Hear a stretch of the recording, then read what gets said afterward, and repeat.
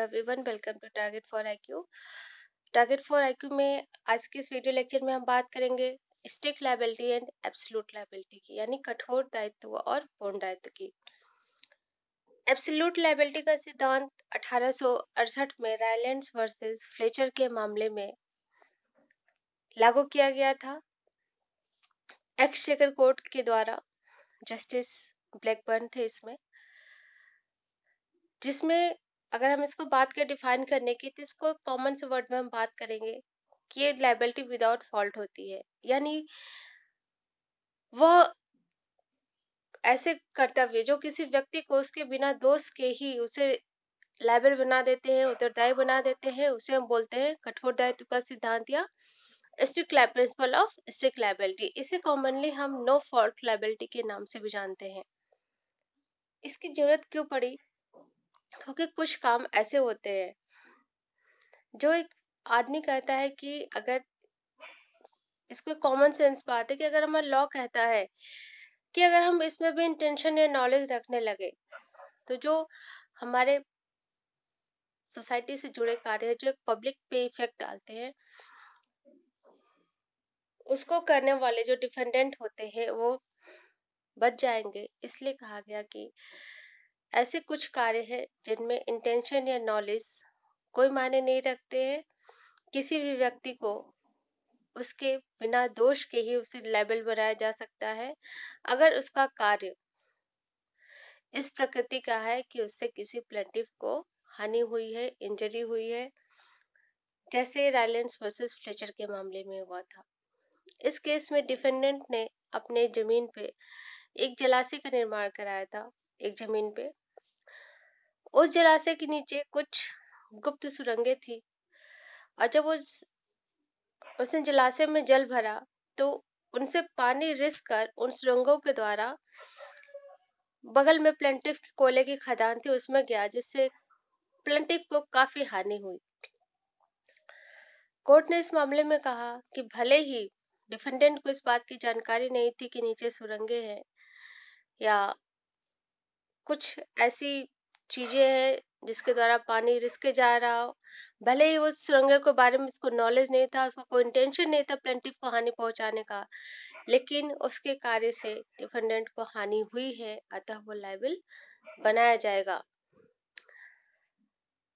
यानी कि अगर प्लेंटिव को हानि हुई है डिफेंडेंट वहाँ पे रिस्पॉन्सिबल होगा, भले ही वो कार्य उसके इंटेंशन या नॉलेज के बिना किया जा रहा हो, यही आपके स्टिक लाइबिलिटी का सिद्धांत। इसके कुछ अपवाद है, जैसे कि जब प्लेंटिव स्वयं ही गिल्टी हो, यानी दोष प्लेंटिव की तरफ़ से भी हो सपोज़ जैसे मान लीजिए डिफेंडेंट ने अपनी ज़मीन पे अपने लॉन में एक जहरीला पौधा लगाया जो प्लेंटिव का एक बैल था या कोई जानवर था जाके उस पौधे की पत्तियाँ खा गया।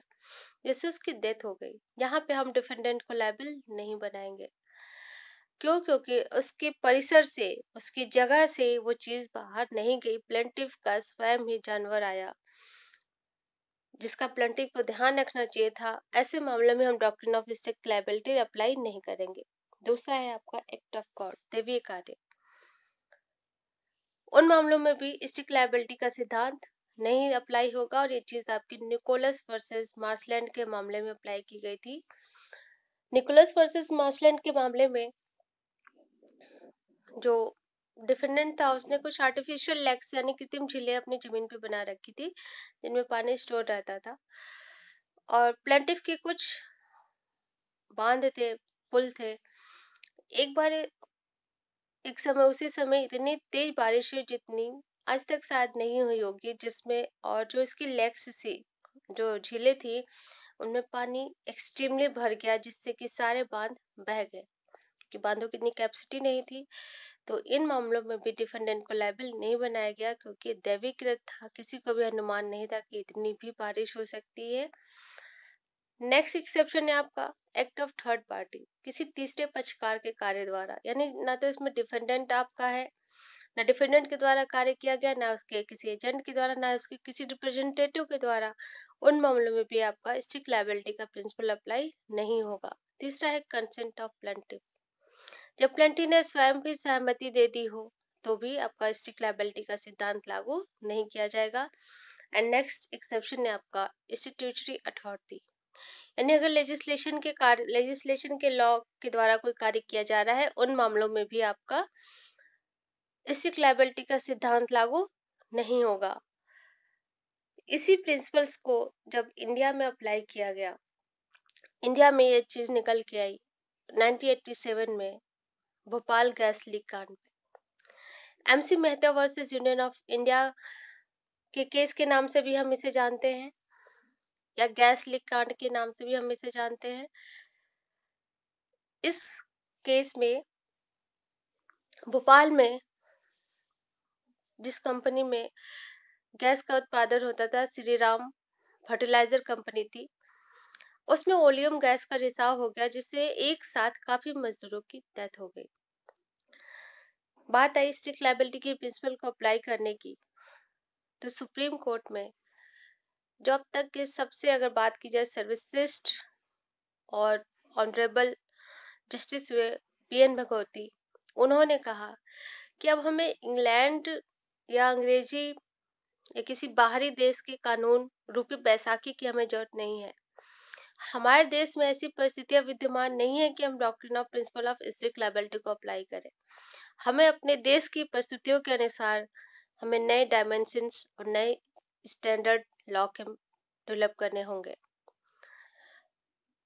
तो उन्होंने कहा कि अगर हम इसके एक्सेप्शन अप्लाई करेंगे स्ट्रिक्ट लाइबिलिटी के तो ज़ाहिर सी बात है कई सारे डिफेंडेंट बच जाएँगे।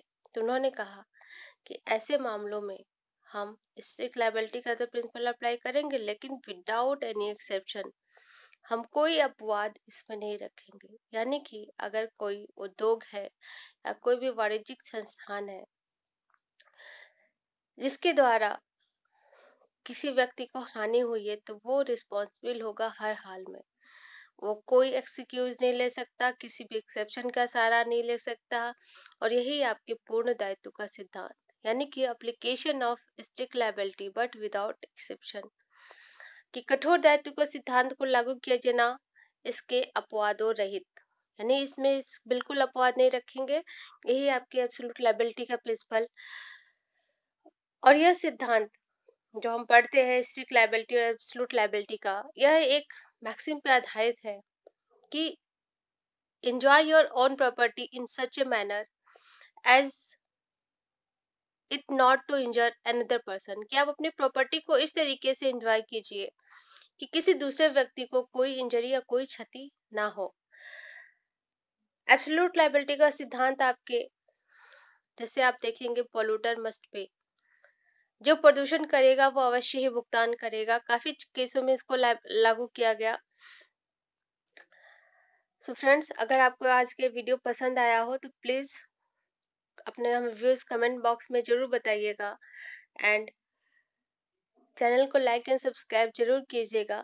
एंड इसके साथ ही आपके आपको बता दें कि हमारा Bihar J and Bihar APO का क्रैश कोर्स का ग्रुप चल रहा है। अगर आप उसे ज्वाइन करना चाहते हैं तो आप सब्सक्रिप्शन बॉक्स में दिए हुए नंबर पर जाके आप हमें ज्वाइन भी कर सकते हैं।